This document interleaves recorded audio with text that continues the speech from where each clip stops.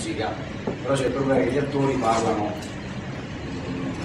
parlano piano, bassi perché hanno il microfono qua, quindi si possono permettere delle vocalità diverse da, dalle nostre che poi mentre dobbiamo, dobbiamo rispettare la musica perché altrimenti non si capisce quello che diciamo.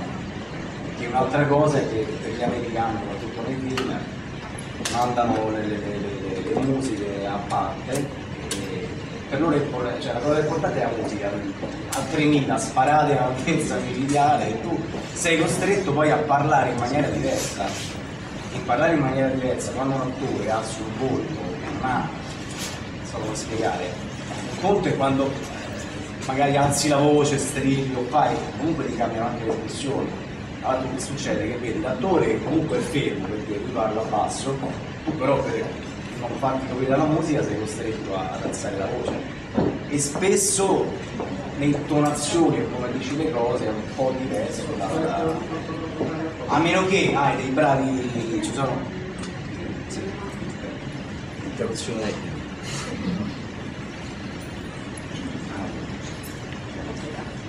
a meno che ecco, quando ci sono dei film particolari importanti che ci tengono anche alla, alle parole, alla voce, allora c'è il tecnico dietro, comunque in Italia abbiamo i tecnici più bravi, oltre che avere i doppiatori più bravi, io dico in Italia, a Roma, quelli bravi stanno a Roma, poi c'è Milano, ma non per, per parlarne male, perché è così che poi andate a vedere tutti i film vecchi, Sean Connery, Jack Lemmon, tutta gente che era a Roma, Rinaldi, Pirotti, cioè parlando di Carletto Romano, Ferruccio D'Amendola, tutta gente che a me non visto crescere, non mi ero visto letto. E che ne so, Carletto Romano è quello che facevano, se voi non credo che ve lo ricordate, i famosi Super Bowl, qualcuno se lo ricorda, Lucano. Beh, uno spettacolo. Per cui Jerry Lewis. dopo se non ricordo male, Carletto Romano. eh, questo non te lo so dire. Jerry Lewis. Questo sinceramente non lo so. Jerry Lewis. So che Jerry Lewis, so che loro facevano e c'era anche, ora non mi ricordo il nome, mm, che faceva tutti i giovani dell'epoca. Era, era, era. Massimo lo- Massimo Turci. Bravissimo, sei un, sei un grande. Massimo Turci. E- però era, era diverso, prima era diverso, era un modo di lavorare, c'era più tempo, non lo so, per fare un film prima mi penso ci voleva un mese, ci si metteva anche un mese, un mese e mezzo tra doppiaggio, mix e tutto. Si facevano poche scene, al massimo gli anelli ormai sapete dove sono, si facevano massimo quando il piano era pesante 10 anelli quindi succedeva che ah, innanzitutto prima o ti mandavano o, o chiamavano, alla, ti chiamavano, ti, ti portavano in sala e vedevi tutto il film in originale ti facevano vedere tutto quanto il film in originale che molti dicevano che comunque era, era meglio conoscere già la storia del, del personaggio, del film, per capire tutte le cose, i segreti, le, le emozioni. Per molti è così, per molti altri non, non lo è.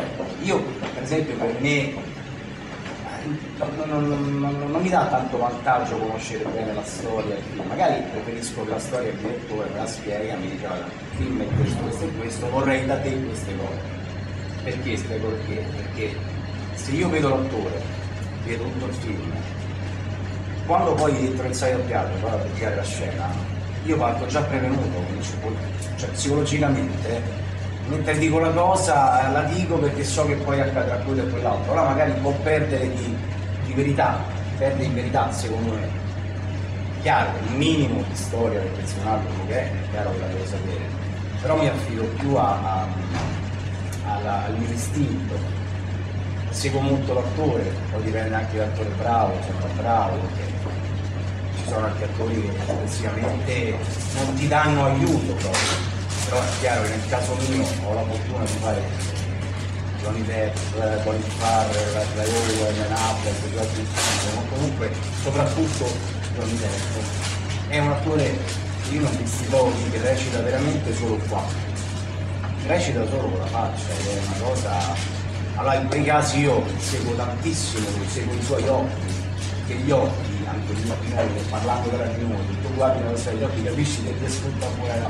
Eh, capisci tante cose. Collega, forse, Cesare Barbetti, che Eh. ci lasciava diceva proprio quello. Cesare, Cesare una- era, era un altro grande, lui era un mostro sia tecnicamente soprattutto era, era eccezionale. Io ho visto fare delle cose a, Barbetti, una- un anello, una scena eh, di, di 30 righe, lui la vedeva una volta, poi la provava subito ed era perfetta, di sync di intonazione, tutto Barbetti, non è possibile.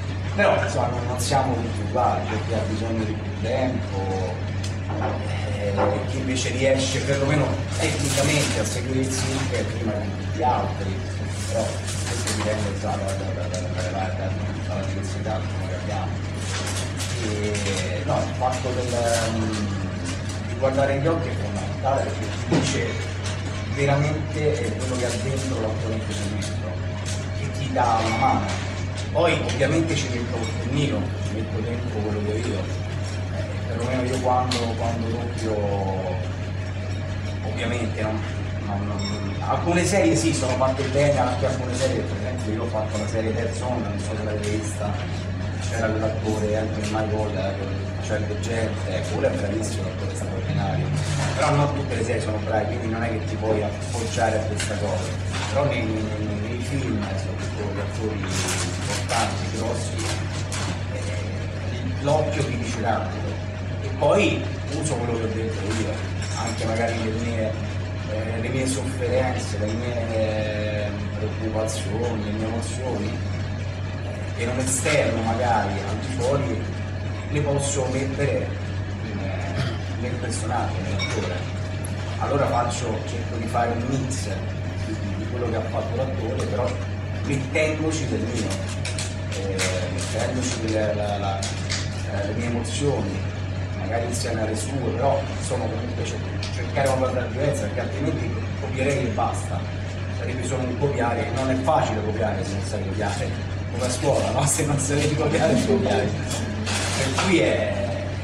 niente, è poi dipende molto, perché comunque è un lavoro che noi, l'attore ha fatto il film in, lo so, in un anno, in sei mesi ha girato, ha fatto, eh, io l'ho fatto l'attore, ho fatto anche l'attore, di personaggi lo so come funziona, ciacchio, lo fai, togli film, aspetta le luci non sono pronte, di qua, di là, però comunque rigiri la scena tante volte, ti fermi, riparti.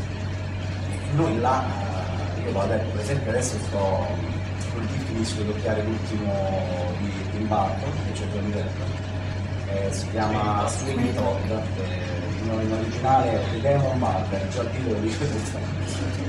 E, per esempio ecco, un film del genere, eh, lui ci ha studiato non so quanto, tra l'altro in questo film canta pure, canta l'opera, l'opera Violetta, in una maniera. Le canzoni sono doppiate. Assolutamente no. In alcuni casi, La ma fabbrica di cioccolato dove è stato successo questo, Carlo Valli ha adattato le canzoni, no, ma le, le canzoni lì è un discorso a parte, lì hanno avuto il cantato.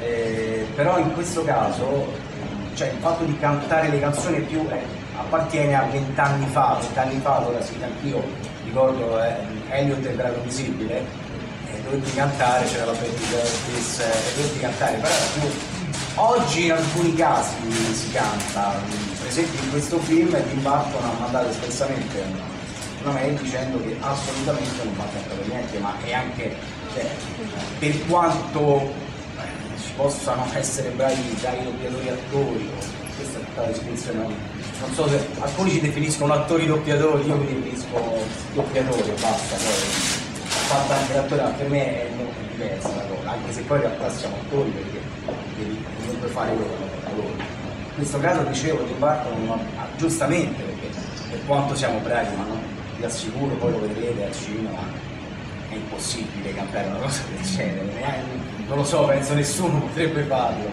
ma mm, sono straordinari, quindi in questo caso la difficoltà aumenta perché mm, comunque non si deve sentire troppo la differenza tra cantato e la voce.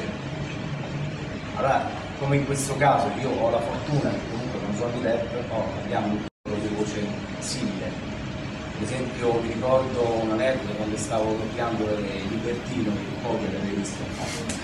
No, Ricordo una volta mh, arrivo a lavoro, entro in sala e c'era già l'anello che girava e.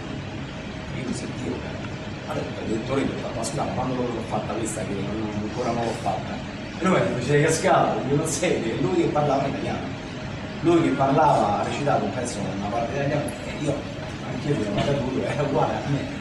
Quindi in questo caso ci salviamo perché comunque la differenza è poca anche se è chiaro che logicamente un minimo si sente sempre, anche perché come, come in questo caso è- sono talmente bravi loro che io stesso ecco, mentre sto, mentre provo mi rimango incantato e "Eh, ma fate allora dico no scusa. Perché ci sono questi pezzi lui è una bravura secondo me di quelli che faccio è, il più bravo. Infatti si dal, si può vedere dal fatto che comunque è l'unico attore, perlomeno di quelli che faccio io, che ha fatto tutti i generi, cioè passa da Jetto lo sportatore alla fabbrica di cioccolato, a Libertino, a Sparrow. i pirati, Jack Sparrow, cioè, e tu dici questo poteva farlo solo lui. Ti metti a pensare chi potrebbe interpretare lui, Jordi Verso, perché infatti la cosa che mi meraviglia, e io spero che lo auguro per lui, perché ormai veramente lo sento come cioè, veramente quando lo vado a doppiare non faccio fatica perché dentro, insomma, come anche come fa a prendere vedere. Però gli auguro che con questo film prenda l'Oscar, perché se non glielo danno qui cioè, non è possibile. Non, non- non- non trovo un perché. Perché veramente, ma a chi lo devi dare? È uno che ti ha dimostrato di saper fare tutto. Che. E insomma, questo è quanto. Però eh, alla fine. Sì. Eh, prego. Se immagino che qualcuno non ha mangiato quindi intanto volete. Ma tu lo conosci? Vabbè, inizio io. Questi me li togli subito, so che si. Ma che si apposta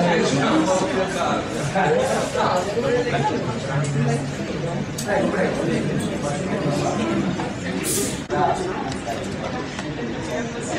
proprio il primo che era del Drago Invisibile, ma avevo già fatto 4-5 anni di carriera, che erano battutine, così, abbiamo Anche i fregatelli che sono nel vostro gioco, i fregatelli sono quei quei personaggi che dicono questo solo due battute Eh, certo. non solo il lattaio che Ma consente. sì, qualsiasi cosa, qualsiasi cosa, un- una battutina, un- molte volte anche un pezzo, i miei colleghi per volte, dei ragazzi che adesso lavoro, l'altra volta, sì, ho fatto l'uomo 4 pezzo, c'è pure questo, però sembrerà stupido, ma il pezzo o la piccola battutina è più difficile del monologo, perché con il monologo tu comunque nell'arco della battuta puoi riprendere l'autore, puoi riprendere bene la cosa, ma non una battutina che devi dire "Va- devo andare al cinema, quella o la dici bene subito, cioè ti devi concentrare e farla bene subito, altrimenti non viene. Però eh, una volta era- c'era questa gavetta, dovevi...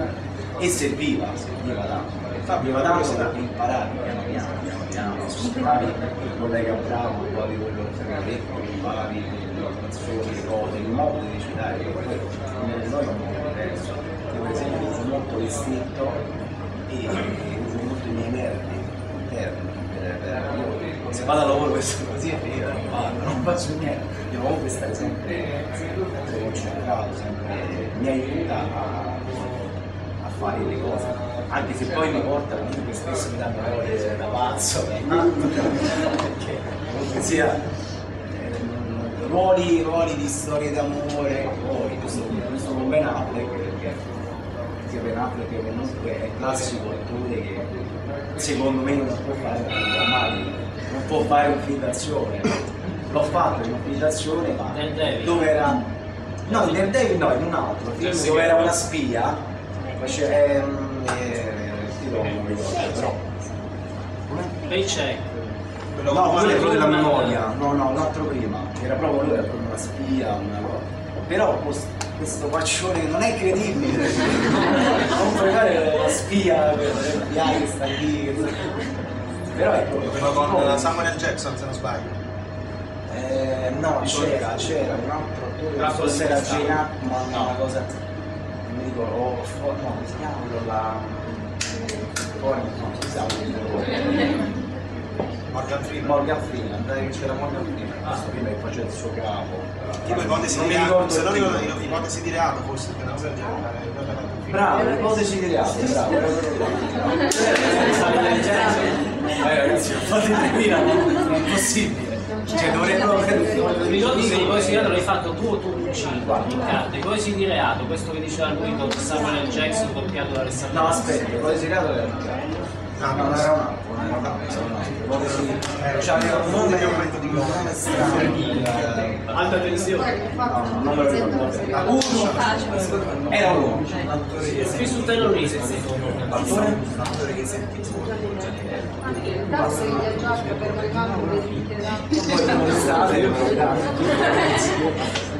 No, no, eh, guarda, ti spiego, è già successo, per esempio io la prima ho iniziato a fare con il Farrell con, eh, nel film Minority Report, sono stati fatti, non so, proprio lui, eh, poi di là alla fine io ho fatto un proprio uno degli ultimi quello, c'era la Claudia Pizzino che era Celeste Spielberg, faccio questo qui, faccio il costume, qua di là. E nel film dopo, che era mm, le- la- una- la- c'era con farne al bacino, regola, La regola del stretto. Mi chiamo a fare qui. Parlo di a distanza di una settimana che eh, avevo finito il film, era anniversario praticamente. E io ho detto no, quello non ci vado, non vedo che vorrei fare il Torino quando fatto, l'ho vinto, col braccio destro di Spielberg da America, ho fare E tra l'altro non l'ho fatto, ci ci è andato qualcun altro, sapevo già, sapevo già che c'ero. Sapevo già che mi sono risparmiato questa villaccia, no? Però dopo di quello me l'hanno, me l'hanno infatti poi devo ringraziare, non sto scherzando. Però dopo di quello me l'hanno ospitato e poi è successo, no, ho fatto il book, eh, una casa di del mondo, e Miami Vice e tanti altri. L'unico problema che non ho fatto era Alexander, ma io purtroppo, cioè, purtroppo che sto bene, ma come tutti sanno nel mio ambiente, io non con il lavoro, però beh, è stata una mia scelta, non sono andato a fare questo video. Però gli unici due dove ho fare, quindi ho avuto casi, ecco. Poi c'è. Ci sono stati due film in cui l'ha fatto Ian Sandler, e questo è Quale? Walter Devil, per esempio, Eh sì, perché là c'era Ben Affleck e Sì, Farrell. eh. Ha tu ci c'era- avresti fatto. Beh certo, eh, no, anche in un film credo precedente di cui non ricordo il titolo aveva fatto Ian Sandler. No, non è eh. l'unica volta, no. Ah. No, che io sappia lì lui è stato l'unica volta che l'ha fatto. Abbiamo parlato, guarda ti dispiace, no, non è per mio. Logicamente tra eh, Affleck avendo già fatto i 20 film, ho preferito, poi comunque con il fare lì non è che sia una parte, ma non era. Però ecco, diciamo, in 12 casi sono stati secondo me era molto sprecato, cioè lui con queste Eh, comportato sì. in quel modo, anche se Bolsai non è in quel modo nei fumetti originali, ma Sì, infatti, poi comunque ti deve piacere quel genere, eh? Sì. Perché per esempio quando ho fatto Sin City, sempre con Paolo sì. però a molti non è piaciuto. Film particolare che si piace vedere che chiamano il fumetto, chiamano il fumetto, allora magari è particolare come film, Sì. Ah, ma anche da doppiare. è- Sì, eh, immagino un comunque devi entrare in un meccanismo mentale di- diverso. Sì, perché Sin City è proprio cioè, il peggio dell'umanità, in cui sia nel fumetto di Frank Miller che Sì, nel però ripeto, lo sa chi è appassionato, chi legge tutte queste cose può entrare in quella mentalità, in quello schema. Infatti lo stesso- allora quando va a vedere il film capisce anche tutto. Ma c'è gente che è andata a cinema e ha detto, la mia è Infatti sono gli stessi che hanno visto 300 ed era orribile, perché sono due fumetti analoghi. Beh, però magari hanno detto, sai, bisogna vedere che sanno pubblicato tutti No, è, è naturale, figura. il nostro Io parlo in generale. che, che tutti criticano l'altro solo perché magari non l'hanno fatto sono loro io questa è la cosa a cui io No, io parlo in generale come pellicola, parlo in generale come pellicola che cioè, i film di Frank Miller, sia 300 che Sin City, sono stati poco capiti. Vuoi perché comunque eh, insomma, è un disegnatore un po' sì, particolare. ci chiamo anche un euro eh. Sì, sì, sì, sì. cioè sono pochi quelli che, sono appassionati di queste cose Però c'è il positivo che poi rimane. Vabbè, perché è normale, però eh, sono più particolari. Poi eh, a parte quello criticano anche sul teatro, poi l'ambiente nostro è così, è una cosa che io non sopporto perché questo lo fanno solo perché non l'hanno fatto loro, io l'avrei fatto meglio, è una cosa che a me non piace perché una cosa che non mi piace quella che mi altri, cioè, anche perché penso che chi l'ha fatto sia impegnato al massimo, poi che non abbia magari le, le qualità o le cose per farlo, perché non è mica colpa sua se ce l'hanno questo detto, dico di no, bisogna fare, cioè, vedere chiunque io se, se, ci invitano a fare un lavoro, è bello che di no. Pochi che li ho lessi che dicono no, non sono in grado. Vabbè, una No, cosa- uno si reinventa vuol dire Ma non ci vado a farlo, lo dico, guardate, ma sono cose che fare, che gli è- giustamente, perché quello che vuole prendere tutto. Ma magari non sanno, non, non- non possono andare di là perché detto che io ho questa cosa che invece lo dico, ragazzi, poi alla fine eh, pagherà se non pagherà, però a me non stare tranquillo, dormi sereno. Cioè, anche che non le cose, ecco, il rapporto con i miei colleghi siamo tranquilli. Io conosco invidia questo sì, ma non perché non non è una cosa che mi piace.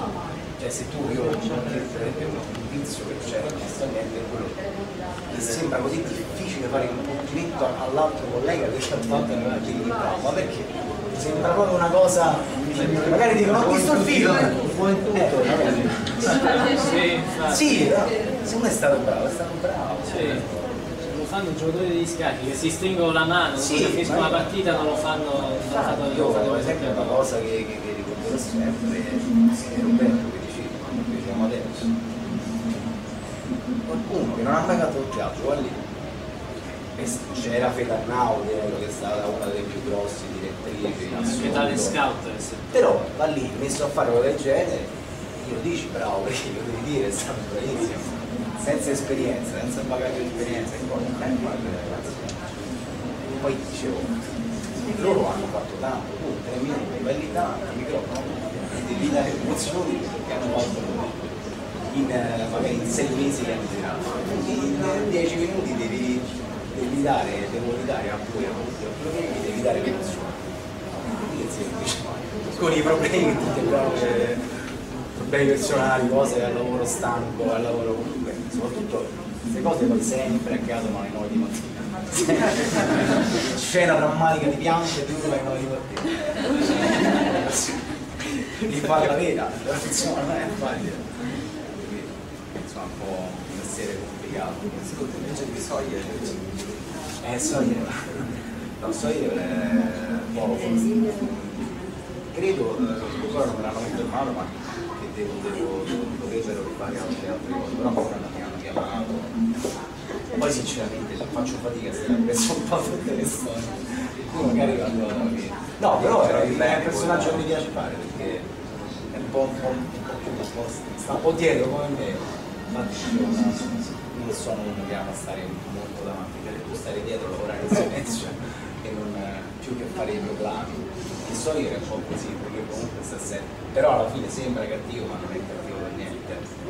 E alla fine invece è quello che poi comunque si sa, si sa muovere poi vabbè ha una storia dietro drammatica anche anche perché poi così spesso poi anche nella vita no, giudica sempre però poi magari non sa quello che c'è dietro, dietro una persona e Sawyer è questo non sempre diciamo Quegli anelli voi li doppiate cronologicamente o a flashback? No, no, no, eh, no, no, si fa in sequenza. A meno che può capitare che ci siano delle persone che capitare che qualcuno può essere liberato, eh, allora magari si salta quella terzina, però cioè, generalmente vai, fa in sequenza. Da soli oppure in più di uno? No, no, quelli insieme. Eh, da soli ormai si fanno i film, ormai i film tutti volano separati. Perché per il problema che spiegavo prima, ormai dall'America vogliono tutti separati per poi poterli sistemare come vogliono, perché altrimenti insieme magari ci sono due battute, una battuta che va sopra l'altra, quindi non possono tagliare, non possono pulirla, non possono mettere la musica in un certo modo. Ma questo è- danneggia poi l'interazione? Non danneggia poi l'interazione. Eh, potrebbe, però sta la nostra bravura. Io per esempio mentalmente mi leggo la battuta sua che poi rispondo. Però non è facile, è un lavoro in più per noi comunque non sarà mai uguale come e te che stiamo parlando, quindi io rispondo. Siamo... Però è così. Oppure convocano due o tre attori ti fanno provare insieme, poi però ci prima io, poi ci lui. Però quanto vero fai la prova insieme, riesci un po' a ghiacciare. Eh, secondo me è così. Sami, adesso un film con eh, Johnny Depp e Ben Affleck. Sai la risposta. Sai già. Tra l'altro c'è sempre questa alternanza, cioè c'è stata sia per Ben Affleck che per Johnny Depp l'alternanza con Riccardo. Eh sì, lì perché dipende, se il film viene, io mi sono libero professionista e lavoro un po' in tutte le attività. Il mio cugino è, è, è socio, e Riccardo è il. E vabbè, lavoro un po' con le mie sorelle, con mia cugina, Massimo cioè tutta la famiglia. Quindi se viene non porta il film in sé, a meno che tu dici sì, il film Quella è un'azione che io doppiare non l'ho mai doppiato. No, lì non c'è stata possibilità. e quindi niente, siamo- facciamo due chiacchiere, io credo che voi abbiate anche molte curiosità, vi auguro- anzi mi auguro che ce le esprimiate direttamente. Eh, no? sì. E dai, magari ci mettiamo un po'. Anzi, lui ancora più di me vi può spiegare cose tecnicamente, cose doppiaggio, cose eh, cavoli Ma vari. io eh, ho una formazione un po' diversa da quella di Fabio, nel senso che se Fabio è Lui anche teatro, anche teatro, con ottimi risultati, anzi, anche dello spettacolo. da poco, eh no. E mentre Fabio ha iniziato da piccolissimo e quindi la, la sua vita prima del doppiaggio non credo se la ricordi. Assolutamente. Non ha ricordi senza il doppiaggio, io sì, io sì perché ho iniziato nelle radio private nei primi anni 70 e quindi ho un altro tipo di approccio alle carriere artistiche. Sono approdato al doppiaggio nel 79 con un colpo di fortuna di quelli che nella vita possono succedere, non te aspetti, che io amo ricordare perché non è detto che non ci siano possibilità per tutti, a volte sono legate davvero alla fortuna, all'opportunità, al caso e poi a come tutti giochi la partita. Io ricordo ancora che ero a Radio M, una radio leader a Roma nel 1979, avevo un'ascoltatrice affezionata che ogni tanto mi chiamava. E ai tempi poi quando facevi i programmi radio di solo, quindi rispondevi al telefono, mettevi i dischi, facevi il bagno, E uno e questa ascoltatrice sapeva lo spagnolo, ogni tanto mi correggeva quando dicevo qualcosa in spagnolo sbagliato. Un giorno questa signora, che, che era più grande di me, mi chiese cosa facessi io nella vita oltre alla radio. Mi insospettii perché ho pensato che forse volesse conoscermi meglio. Era vero, ma non come pensate voi. Era Sonia Scotti, una grossa direttrice e attrice, che eh, mi ha detto, tu secondo me hai una cosa interessante, hai, hai una certa facilità, una certa espressività, vorresti provare a fare un doppiaggio? Io mi precipitai e era decisamente il mio giorno perché arrivai e la prima cosa su cui mi provarono fu un annunciatore di Lampone ovvero uno che sì io poi ho doppiato Lampone però il provino me lo fecero su un signore che usciva e diceva signore e signori buonasera fra poco vi divertirete tutti con il nostro spettacolo di Funamboli e era visto che io facevo le serate da dieci anni mi esprimevo con naturalezza, non avevo nessuna difficoltà, quindi mi dissero, ma sei E da lì ovviamente io poi continuai a seguire, ebbi delle opportunità, erano anche anni in cui era più facile. Ma andiamo un po' ad analizzare i movimenti, i passaggi i momenti storici. nei primi anni 70 ci fu un terremoto nel doppiaggio perché arrivarono le televisioni private e quindi arrivò l'esigenza di dotarsi per tante televisioni di un magazzino immenso. Quindi faccio dei numeri assolutamente campati per aria, proprio per darvi l'ordine di misura. Si passò dal doppiare a Roma 10 ore al giorno a 100 ore al giorno. E quindi il movimento di mercato fu mostruoso perché le leggi della domanda e dell'offerta saltarono tutte. Bisognava trovare gente in grado di fare questo mestiere in tempi rapidi per affrontare questa necessità, quella di rifornire questi magazzini e con i professionisti straordinari che c'erano, ma che erano 100, 150, non era fisicamente possibile, anche se avessero lavorato 20 ore al giorno tutti, non ce l'avrebbero fatta. E quindi si cercavano davvero persone nuove in quegli anni, al contrario di quello che accade in questi. Sono cresciute le cooperative. Sono cresciute le società, le cooperative, i gruppi, le opportunità di lavoro e quindi ho avuto anche l'opportunità in tempi relativamente brevi di avere ruoli di un certo rilievo. Le opportunità poi per i giochi bene o male, c'è chi ha avuto la sua prima serie da protagonista presto e poi non ne ha fatte più e ci sarà perché, c'è chi magari ne ha avute tante poi non ha più smesso di farle e quindi anche lì il nostro è un mestiere dove in qualche modo il merito viene ancora premiato. In uno scenario così devastato come quello che viviamo tutti, a 360 gradi, non parlo solo del settore artistico, credo che il doppiaggio ancora si distingua perché chi ha qualità, dove però attenzione, qualità è un discorso molto ampio, eh? qualità umane, qualità professionali, capacità di relazione, capacità di organizzazione, perché il nostro lavoro è bisogna organizzarsi. Se non sei capace di organizzarti e di dare risposte a tanti interlocutori rischi davvero di scontentarli tutti tranne uno e quindi di esserti inimicato delle persone. E sempre per la legge della domanda e dell'offerta nessuno è indispensabile, tutti siamo utili e quindi devi anche essere capace di gestire i tuoi rapporti, le opportunità che hai giocandolo al meglio. Insomma, per farla breve, la, la mia entrata nel doppiaggio ovviamente fu molto più difficoltosa in proporzione di quella di Fabio, perché io non ho, non ho avuto il percorso naturale, no? non ho fatto l'asilo nelle sale di doppiaggio io. E quindi ho- mi sono trovato proiettato in un mondo dove mi venivano chieste cose che non mi erano mai state chieste professionalmente dove ho scoperto ad esempio che fare solo la radio non ti insegna minimamente a usare la voce, anzi rischia di essere controproducente, perché sul piano interpretativo tu sei fermo su un registro più o meno standard, che è quello del salve come state, ben trovati cari amici, e, e poi non puoi fare solo quello se fai l'attore.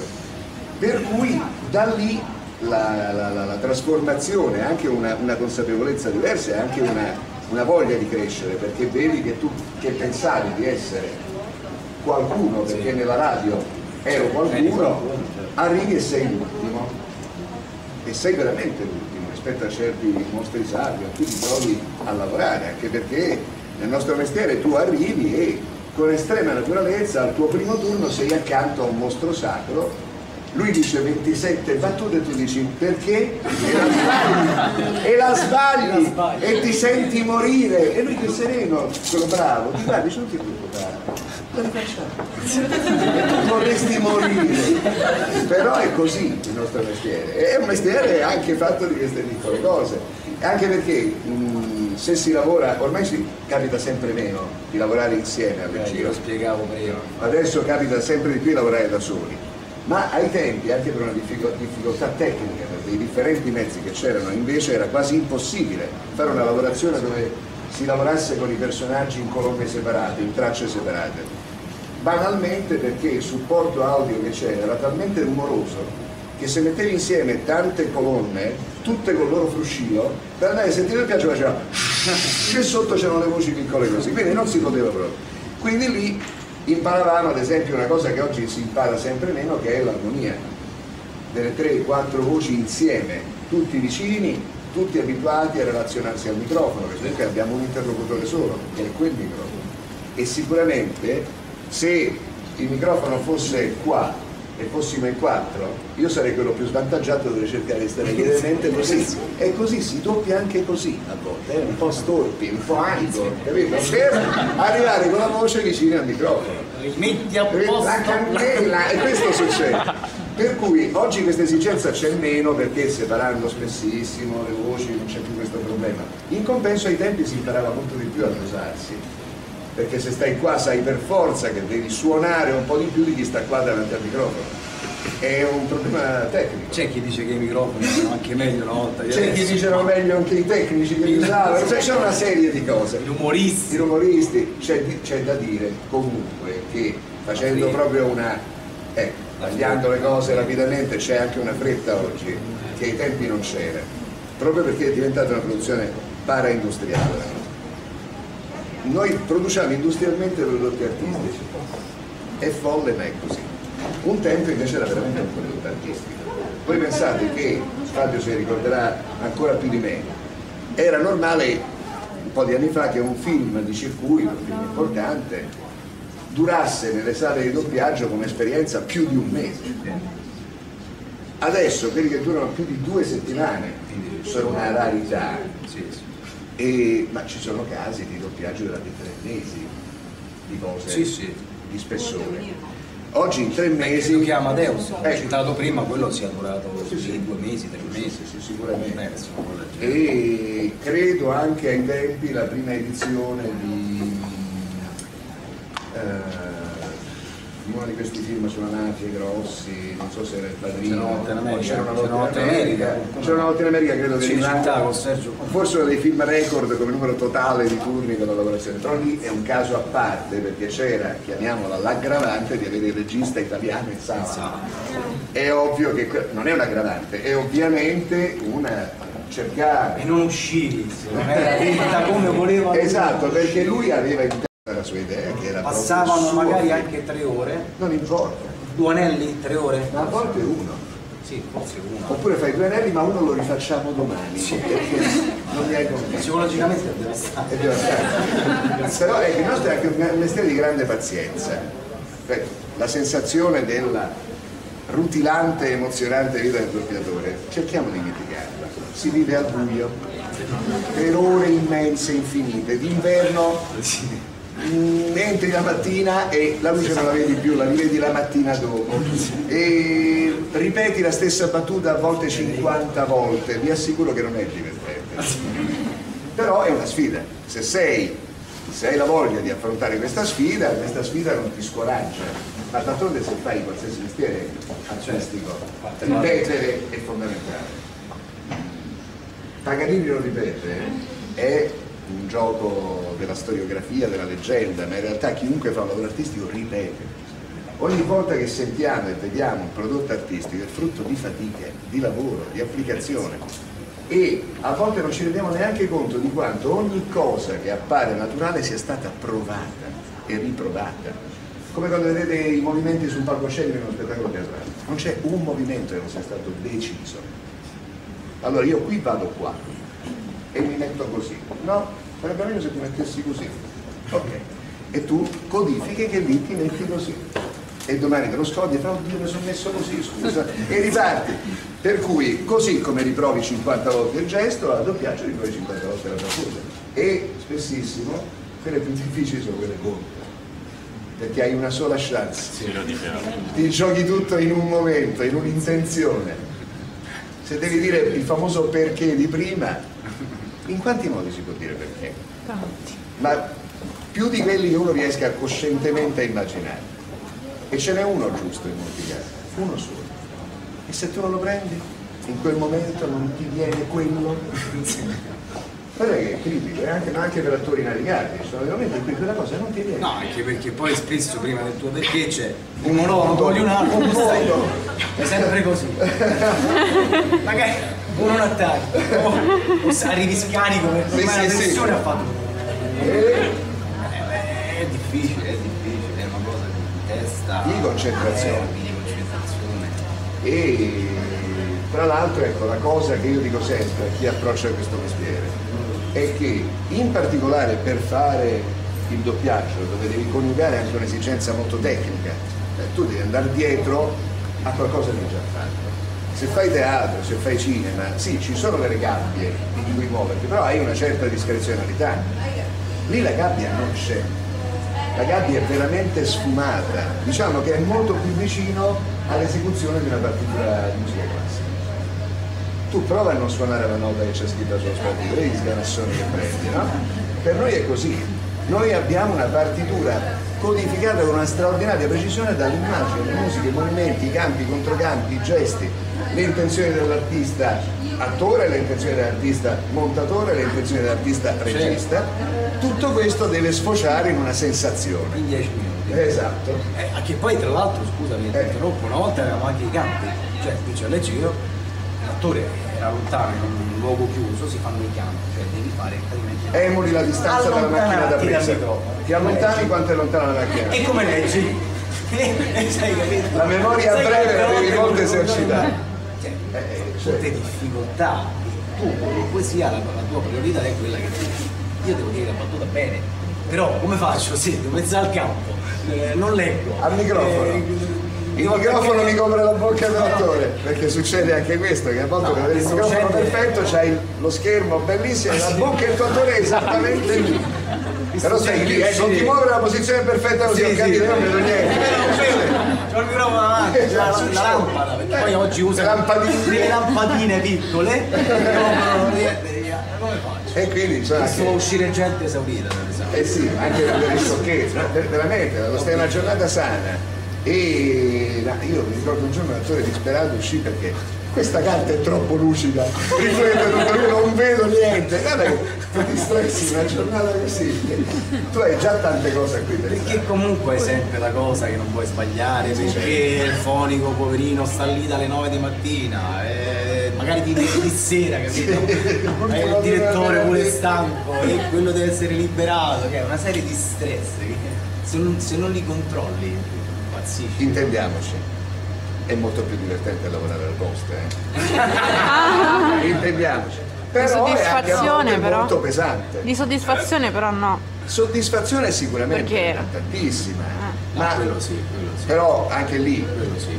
il rutilante mondo dà grandi soddisfazioni e anche grandi umiliazioni. Le regole, ci sono Eh, delle regole. C'è delle regole, alcune scritte, alcune non scritte, e, e poi ci sono, ma come in tutti i campi dell'attività umana, anche dei- degli eventi imponderabili legati a circostanze che da una parte in certe occasioni ti possono dare l'oc- l'occasione della vita e dall'altra ti possono togliere invece una cosa che strameriti, è il tuo momento, Sì, lo devi sì, fare sì. tu e non lo fai.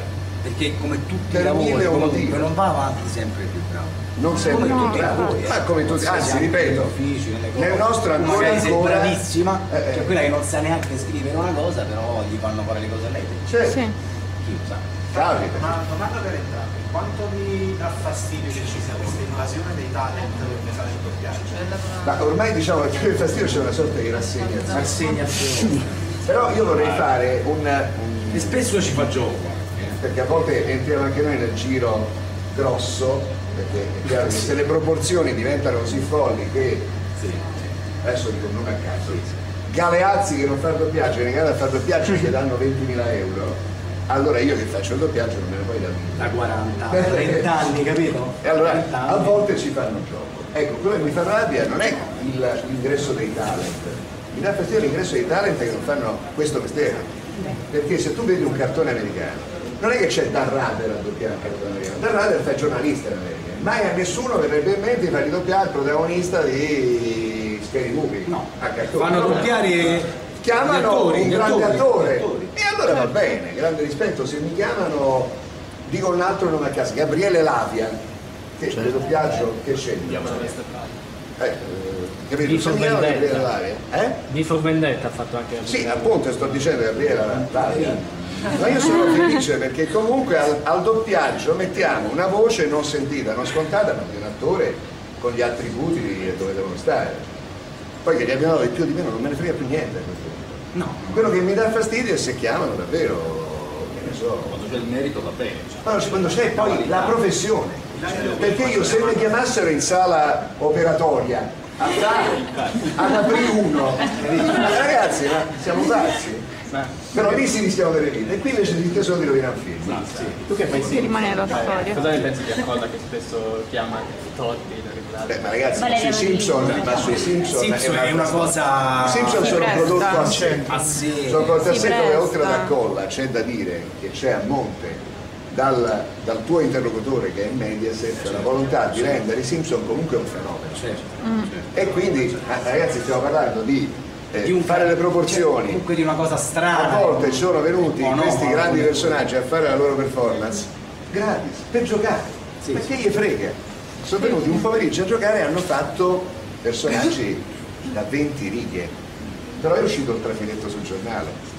Valeva proprio la pena a quel punto chiamarli a fare il personaggio da 20 righe, ma a nessuno è mai venuto in mente di far fare Lisa Simpson a, che ne so, a una strappona televisiva.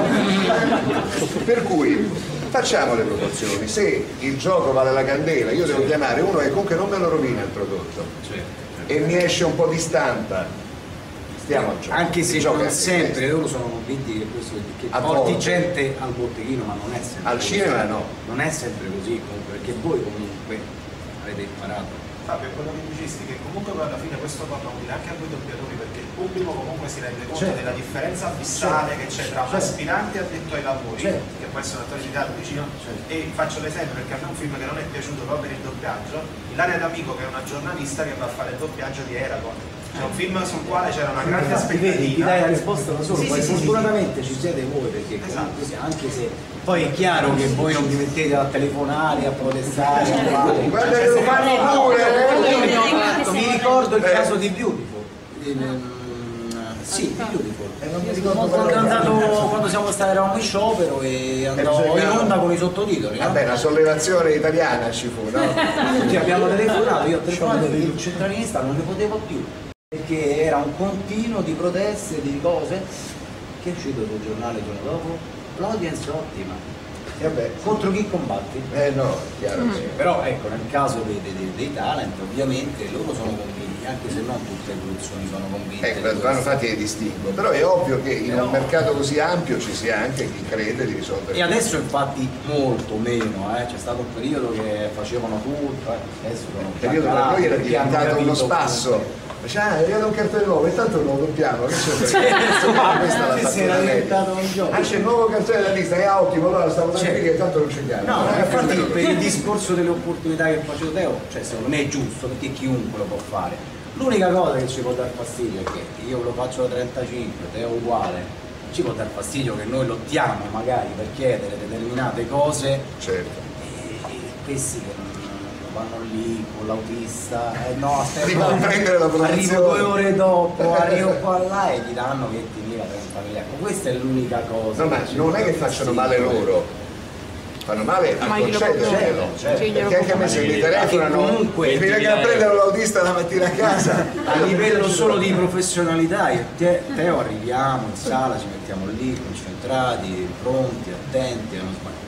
Eh È sì, tutto, tutto un c'è insieme una macchina, no? Ma funziona. ma dopo 35 anni che lo faccio, cioè uno si sente un attimino, dai, qualcosa l'avremo fatta, no? Bello è- Certo. Però, Questa è l'unica cosa, però, però per il resto. chiariamo un'altra cosa, in tutto il settore artistico non è mai niente scontato, devi sempre dimostrare Sì, di essere al passo, sì, no? sì. Mm, se tu lavori in un'azienda e sei un manager di un'azienda e un giorno dici due frescacce, Sì. il giorno dopo va bene. Da noi se un giorno non riesci a dire una battuta, Sì, sì. dopo tre giorni, ma che c'è? Sì, sì, che è successo a te? L'altro giorno non parlava. Sono 30 anni che parla, forse parlava, no? Però è il nostro ambiente in cui devi sempre dimostrare tutto. Pensate adesso veramente cosa vuol dire dopo tanti anni fare un provino per dei nuovi che hai già fatto milioni di volte, su cui lo sai che sei giusto tu, lo sai il direttore, lo sappiamo tutti, però magari è arrivato il nuovo manager trentenne bocconiano, adesso sì, prendiamo un antipatico per antonomasia, no? Che poi in realtà non c'entrano niente, perché però hanno preso per questa nuova televisione satellitare piena di nuove idee, i reality, no? E, e lui vuole sentire le voci, no? Vuole sentire di voci, perché ne conosce e quindi se gli dicono un nome non gli significa niente a lui e quindi li vuole sentire e tu stai lì mezzo alla via è una continua iniezione di umiltà, eh? noi prendiamo l'umiltone spray tutti i giorni perché da una parte questo, dall'altra il fatto che tu sei anche il più bravo del mondo e sbagli. Sì, Il nostro mestiere qui si sbaglia. sono tutti che magari capita che non puoi anche non, non andargli bene. No, no, ma sbaglia anche nella continuità. Sì, ma il problema spesso, soprattutto quello dei provini, è quello che non tutti siamo subito Magari il provino lo vince uno che però poi non sa fare il film. Però quel Non momento, regge il film, non regge quel il momento, quel giorno, quelle battute gli sono sono non faccio bene il film, ma al provino non riesco Scusa, subito. Ma allo stesso modo abbiamo anche vinto provini immeritati. Certo, certo. Perché Anzi, quelle tre battute, e più li vinci. quelle tre battute, tu le hai proprio fatte di vabbè, dai, andatemi via. Vabbè, che devo dire? Hai vinto il Sì. provino. Sì, Ho vinto sì, sì. Vabbè, capito? Per cui non c'è solo. Pure quando l'hai fatto benissimo, fatto Quando, quando sapevi che era Eh, perfetto, non vincerai mai. Giurare. Quando ti dicono bellissimo, Bellissimo, aia, mi saluto perché non hai preso. purtroppo è così, è una strana legge che non, non capisco, non lo so. Non lo so, le energie che ci metti saranno Ma non diverse, lo non so, lo so. darsi, quando vuoi fare bene fai troppo, Strafai, di solito strafai. È un po' come nello sport, no? Quando vuoi fare troppo, esageri la prestazione e sbagli. Quando arrivi che dici vabbè, oggi una giornata tranquilla, faccio il record, no? Poi alle gare regionali fanno il record mondiale, no? Succede pure questo, quindi può succedere. E fateci un po' di domande ragazzi, poi vi raccontiamo Ma un aspirante doppiatore. Da aspirante? Un aspirante doppiatore, cosa dovrebbe fare? oltre a, Oltre a rassegnarsi a una fatica infinita, eh? Ma io dico sempre una cosa, che, ehm, e, e lo dico io tra l'altro venendo da una formazione sui generis, perché io non sono arrivato al doppiaggio facendo l'attore, però io dico che bisogna cominciare a capire sempre di più che il meccanismo per il quale il doppiaggio è staccato dalla professione d'attore è criminale. Il professionista attore fa doppiaggio, fa la pubblicità, fa la fiction, fa il teatro, fa questo e fa quello. Ci sono quelli più portati per questo e per quello, è come chi è laureato in medicina, poi ci sono gli specialisti, no? Però non è che se tu vai dal dentista e gli dici che è il raffreddore quello non sa che dirti, te lo sa dire, no? Parliamo di un mestiere d'attore. Detto questo, quindi partendo dal presupposto che bisogna anche recitare, avere un approccio con la battuta, capire cosa vuol dire recitare, relazionarsi con gli altri, il senso delle battute, l'armonia, il ritmo, la musica, poi accedi al doppiaggio che è un settore con un'esigenza tecnica molto diversa. Però dobbiamo partire dal presupposto che se io voglio fare il doppiaggio dovrei prima preoccuparmi di fare un corso di recitazione dove magari in sala di doppiaggio non mi ci portano mai, ma non importa dopo aver fatto un corso di recitazione e aver magari con un po' di sana autocritica capito cosa posso migliorare, cosa posso non migliorare, si può tentare di accedere al doppiaggio. Facendo un corso di base, io dico sì, facendo i corsi avanzati io dico no, perché se tu vuoi fare questo mestiere e la volontà e l'energia per farlo, una volta che hai acquisito i ferri del mestiere, poi sono solo affari tuoi. È impensabile, ma come in qualsiasi mestiere, fare formazione per dieci anni, il giorno che arrivi al lavoro vero scopri che la formazione non è il lavoro vero, è vero o no? Quindi è giusto fare un corso base perché uno comincia a conoscere i meccanismi, i linguaggi, le specifiche tecniche di certe cose.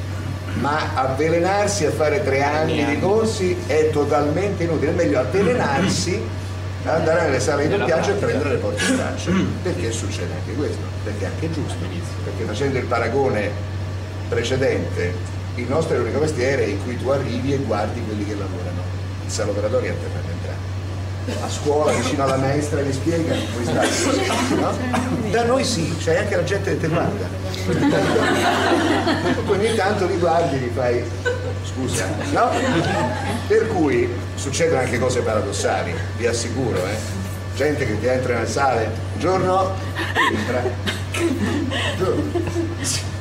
Volevo sapere se posso seguire, a quel punto ti viene proprio voglia di dire purtroppo no, oggi non si può, no? E per cui, però questo cosa vuol dire? Che la strada è purtroppo quella di andare in giro, farsi vedere, farsi conoscere, farsi sentire. Nelle sale di doppiaggio Però è una via... Guarda, Eh? Arbitrariamente. Arbitrariamente, nel senso che mica c'è scritto fuori, si ascoltano nuove voci. no, uno telefona, Telefoni alle sale, verifichi se conosci qualcuno, Poi eccetera. è chiaro che bisogna mettere in conto una grossa dose di pazienza. E, e, ragazzi, È così, è così. ma- D'altronde se ci pensi già comunque è un mestiere che comunque se tu sei educato posso assistere. È un mestiere che ti permette cosa io di accedere. passo in banca non Tu non è che stai dietro lo sportello a vedere come lavora lì, lo fai solo se fai affiancamento e ti hanno già assunto, no? Quindi da noi invece tu non sei nessuno, sei proprio il signor nessuno. Ti comporti educatamente e puoi accedere, conoscere i meccanismi, Certo. gli sviluppi di una cosa, di un processo che ti interessa. È già un'occasione rara. È ovvio però che non tutti sono disponibili, non tutti hanno voglia, c'è anche il giorno che tu non hai nessuna voglia Ma di non è, non è sempre cattiveria, che veramente No, delle volte, certo. Sono non so, c'è arriva circostanze. gente che però non stiamo, dobbiamo chiudere le- la serie. Dobbiamo stare al massimo della Siamo concentrazione. C'è del nervosismo, che anche il giorno c'è del nervosismo, ragazzi. Hai voglia di sentirti Certo. libero anche di esprimerti. Anche perché sì. devi chiedere al tecnico che sta lì dalle 9 dalla- fino alle 7 Certo. e mezza, è stanco morto. Che trovi una sedia a sto ragazzo che vuole seguire, eh, diventano delle realtà. nove ore a sentire le voci dietro. è dura, eh. Però insomma il cammino è questo, in estrema sintesi. Il che vuol dire che la prima cosa che bisogna avere è la volontà. Però deve essere una volontà concreta, cioè uno deve si deve corsi- confrontare I sì, corsi sono fondamentali per, per, Per vincere la capire vergogna. e per capire i meccanismi. in sala e, e recitare con altre persone. adesso Beh, tanto oggi faremo delle cosette, delle eh. Oggi facciamo dei La voce ti esce proprio. No, tira fuori la voce. Eh, non si sente Devi- niente. Devi vincere la vergogna di parlare gli Certo. E ti stanno dietro e tu puoi anche sbagliare, dici una Sì, ne dici una qualsiasi cosa?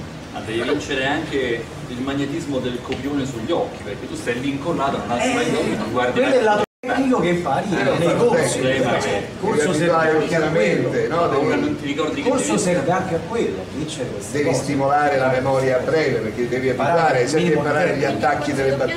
fondamentalmente serve. Secondo me Il corso Base. base. Ma esistono Base. corsi seri Ma è infatti. di doppiaggio? Da lui. Perché- sì, eh no, non lo sappiamo, Da lui. ecco perché. poi, Eh, poi Io faccio dei quello corsi, poi se Bene. volete ne parliamo, Certo. magari. però non, non sono qui per fare No, ma mercimonio. No, no, Voglio no, ma dire, infatti no, No, ma noi vogliamo sapere. premetto, non lo dico perché, perché ce ne saranno tre, e io uno dei tre. Sì, insomma. Poi c'è anche molta gente solo che spera, non- spera solo di fare così. numero e acquisire gente. Io parto dall'idea che bisogna fare classi piccole, non ci sono sbarramenti, l'accesso ce l'hanno tutti, perché se uno vuole capire Uno, sì, magari eh, vuole per accedere, ripeto, è un corso base. E però secondo me bisogna che le classi siano al massimo di 10 persone, perché sennò è impossibile.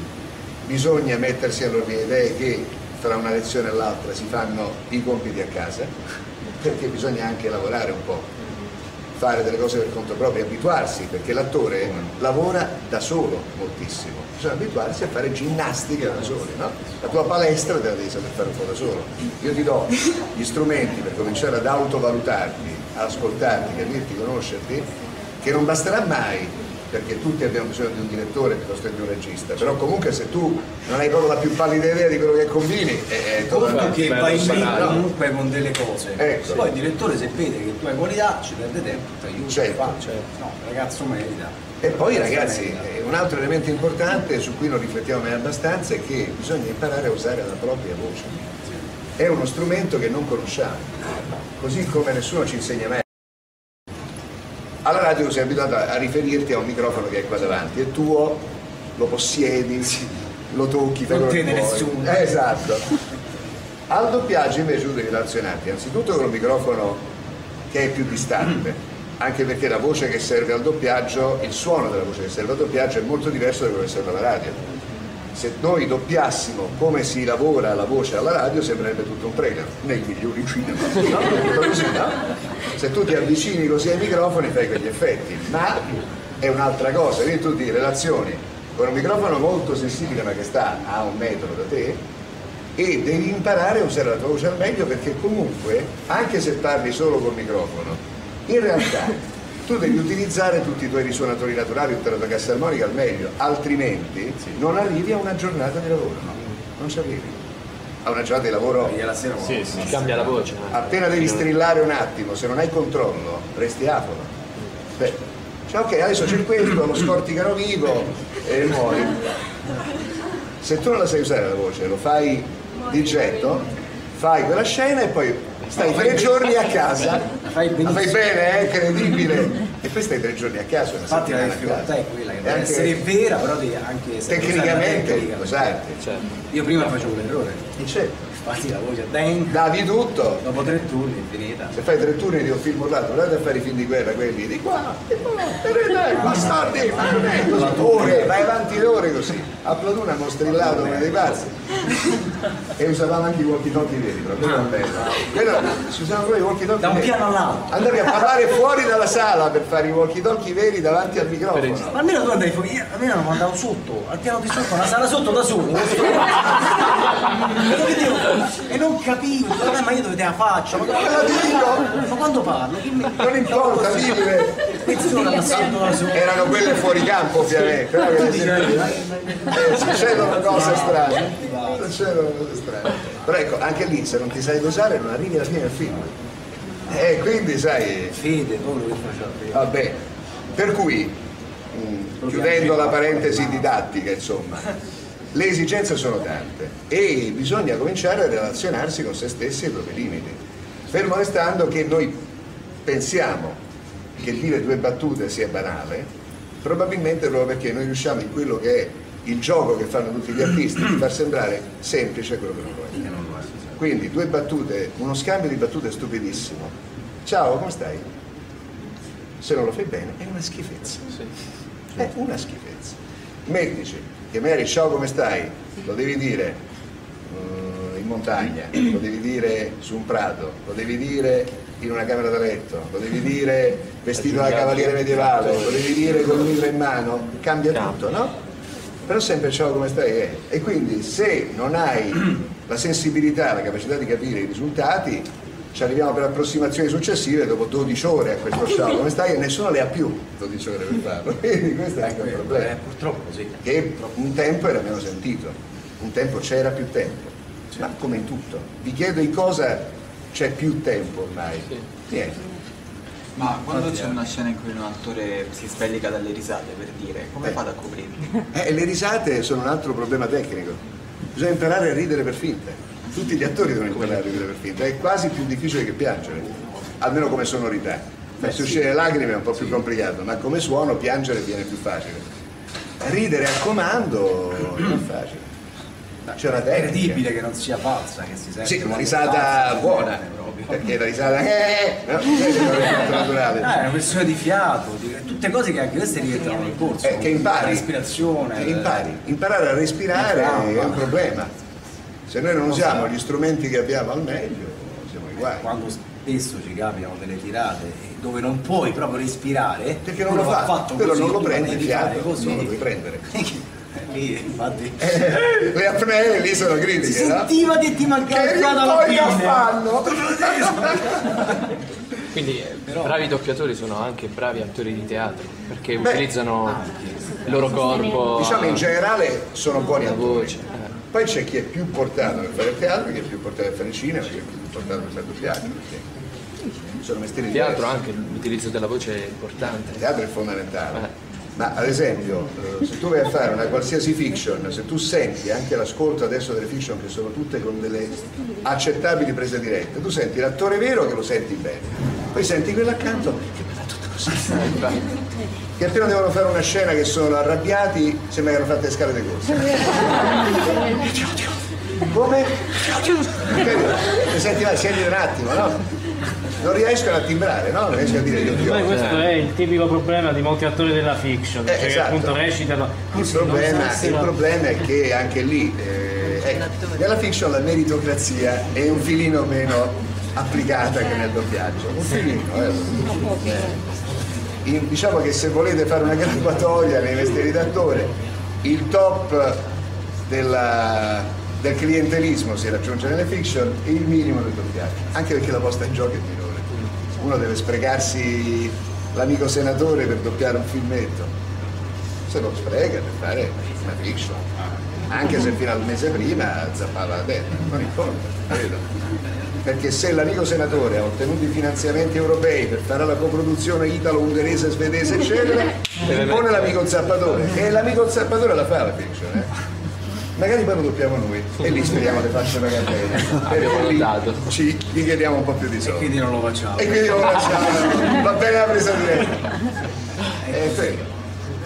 Una curiosità, ma quando ci sono le fiction, tipo appunto, che ne so, mi viene in mente distretto di polizia, le voci sono doppia, cioè doppiano loro stessi o lì per Ormai è quasi tutta presa diretta. Stanno imparando a fare le voci live mentre reciti lì. Però, come per tutte le lavorazioni tecniche, capita di dover fare delle integrazioni. E per cui, che ne so, io quest'anno ho fatto la fiction sul generale della Chiesa come attore e c'era una scena in cui eh, eravamo in dieci seduti a un tavolo e gli unici che non sono stati doppiati eravamo io, Giannini e un altro attore, perché gli altri erano tutti figuranti speciali, l'hanno detta un po' così, la battuta e poi sono stati ridoppiati. Per cui a volte si integrano, si mischiano le due cose, oppure capita che anche la battuta fatta bene in presa diretta si sia rovinata, che ne so, per un rumore. Passava nel- in quel momento e non rifai tutta la scena che era venuta bellissima, che movimenta 50 persone che lavorano per non ridoppiare tre battute. Ti conviene ridoppiare tre battute. Dunque io direi che se i ragazzi va, facciamo altri 5 minuti di break e poi cerchiamo di fare a scaglioni dei giochetti in sala doppiaggio. A scaglioni perché non c'è più. Quindi bisogna fare delle cose tranquille. E vediamo che si Magari Non è tradizione. Ah, perfetto. Sì, sì, tanto in sala mix abbiamo la proiezione di un film di questo artista. Meraviglioso, un film doppiato da lui e adesso ci prepariamo. Intanto prendiamoci la Beh, certo. Beh, spiegami come fai, che racconti? Che ho una riunione presto, il barbiere, una partita squash. Tu non giochi a squash? Ma che ne sanno? È la prima sera. Sì, mi vergogno tanto. ci state. Mi vergogno tanto della mia battuta. No, ma non è grave, non è grave, sereni. Non puoi accumulare tutto quel ritardo. A che ho una riunione presto e il barbiere una partita a squash. Tu consideri finito squash quando già avevi detto la prima sera. E quindi da lì è successo la. Allora riproviamo. Ritmo, non stai così lontano al microfono. Lui non morde neanche il microfono, il microfono è quello. Ok, via.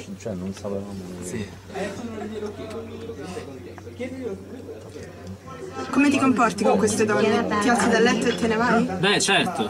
Beh, spiegami come fai, che racconti? Che ho una riunione presto, il barbiere, una partita a Tu squash. non, squ- tu non giochi squash.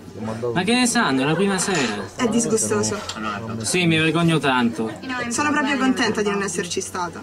Avrei finito per diventare una di quelle donne che lasci a letto alle tre di notte, dicendo che vai a raccogliere legna. E non ha neanche il, cammi- il cammino, tanto non avrei saputo. Ma perché te la prendi? Non ti riguarda mica. Altro che, tu sei un affronto per il genere femminile a cui appartengo. Ehi, non per vantare, ma nessuno si è mai Ti lamentata. credo, scappi come una lepre. Io credo che si divertano molto. E come lo sai? Lo so perché lo so. Perché loro... mm? Sì, perché loro... mm, E come lo sai che veramente loro... mm? Ma che stai dicendo? Che fingono l'orgasmo quando... È possibile? Sì, Stai addio. dicendo che fingono l'orgasmo quando... mm? Perché a tutte le donne è capitato sì di fingere. Beh, non hanno mai finto con me. E come lo sai? Perché lo so. Ah. Già, giusto, dimenticavo. Sei un uomo. E, que- e questo che vuol dire? Niente. Tutti gli uomini giurano che a loro non è mai successo tutte le donne prima o poi hanno finto. E io non so riconoscere la, dif- e io non so riconoscere la differenza? No. È ridicolo. Io prendo 950 euro, 1 euro di euro e spendo 1000 euro di benzina, va bene? Ok, vabbè, comunque. Io la chiamo la sera.